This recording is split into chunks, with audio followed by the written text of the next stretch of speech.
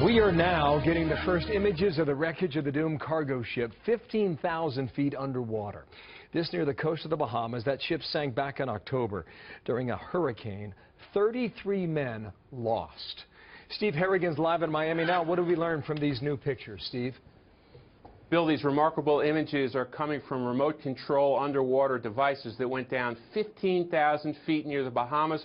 What they are basically capturing are chunks of this 800-foot long freighter, which back in October was carrying new automobiles and cargo from Florida to Puerto Rico before it was destroyed by a Category 4 hurricane.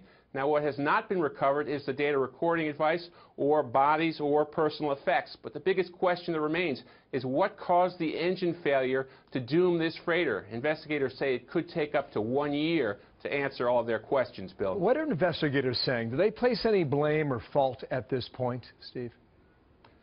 Right now, investigators say there is no evidence of any guidance between the ownership of the freighter and the captain, whose final decision it was to press ahead. What really doomed this freighter was the loss of engine power. That meant it couldn't outrun the storm, and that storm grew into winds of 140 miles per hour. With no engine power, too, the freighter was unable to steer into the waves, and by the peak of that storm, those waves were 50 feet high.